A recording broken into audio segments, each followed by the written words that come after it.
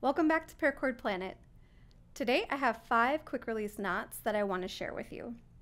So quick release knots can be used for everything from outdoor activities to practical uses inside your home. It's also just kind of fun to learn how to do them and you never know when you might need one in a pinch. So let's dive in. Our first knot is the manger knot.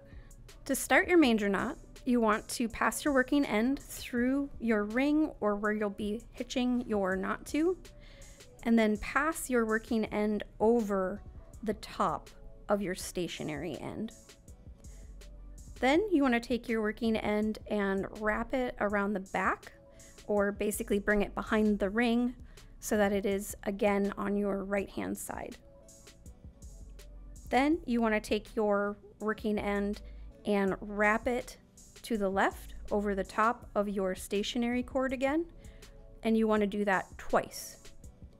Once you have wrapped that around your core strand twice, your last step is to take a bite out of that working end and just pass it back through the very first loop that you formed at the beginning of your knot.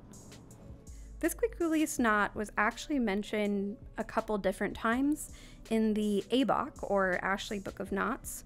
In the ABOK, they had written that the cow is known as a slobberer. Although not in a class with the camel, she should be made fast with a hitch that will not jam when wet. So obviously this was kind of thought up as almost a pacifier for animals with bridles or any kind of gear or anything on them.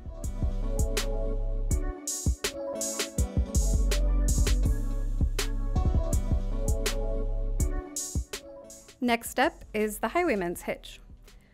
To start your highwayman's hitch, you want to make a bite right in the middle of your cord, and you'll be placing that bite right over the top of your item that you'll be hitching to. In this case, my dowel. Your next step will be to take another bite on the left hand working strand and pass that completely behind your dowel, making sure that the working end of that strand also goes behind the dowel to the right of your original cord. The next step will be to bring that top loop over the bite that you made first.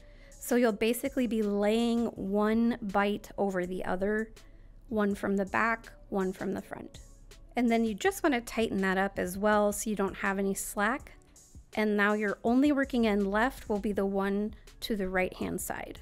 So you'll take that working end, make one more bite, and you'll end up passing that through the loop you initially made at the beginning of your knot. And what's nice about this one is it does have two very definite tightening and loosening points. So once you have that bite through your loop, you can tighten everything up with your right hand string. Another super simple way to remember that would be the old righty-tighty, lefty-loosey. So you pull on your left one, and that's how you will release that hitch. But seriously, the Highwayman's Hitch is a really great knot if you are trying to stabilize something on the go and you need to release it quickly. A good example of that would actually be a kayak. So let's say you're trying to stabilize it, getting in or out, you can quickly pull this out and get going. Our next knot is the halter hitch. Again, all in the name, this hitch was commonly used to secure horses and livestock. This knot gained popularity because it is very fast and easy to tie, but it is also very quickly and easily untied. So to make this hitch, you'll want to start by passing your working end through your ring or hitching point. Then you'll take your working end and pass that across the front of your stationary strand, and then you'll pass it back behind both strands. You will then take another bite to pass through this rope loop to make your knot.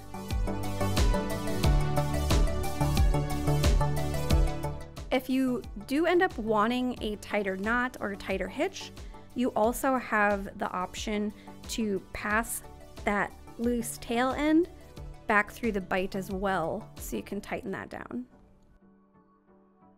Our second to last knot will be the mooring hitch. This quick release knot is typically used for docking a boat, again temporarily, so you're able to just quick release and get going.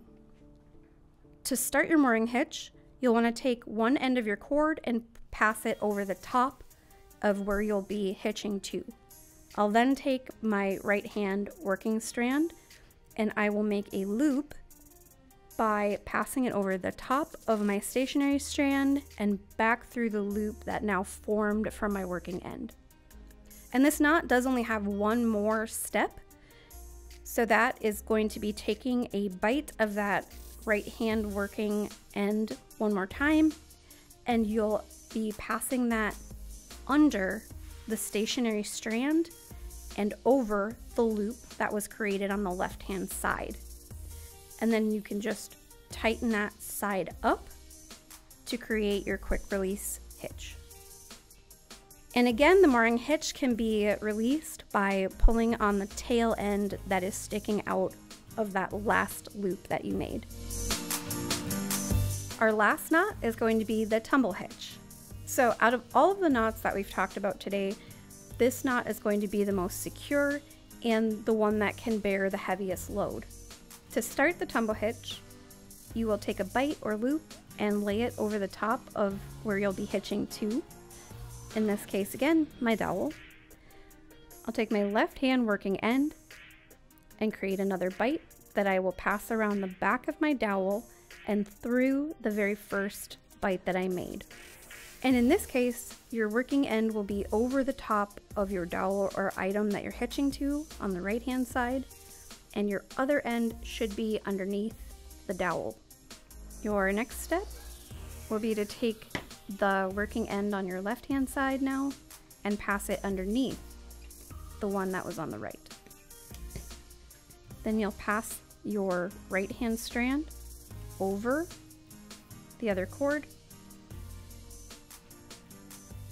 Make one last bite and pass that again behind your dowel and through the loop at the top.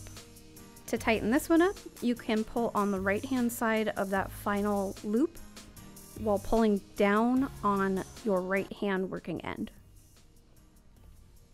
And again, to release, you can release just by pulling on your loose end.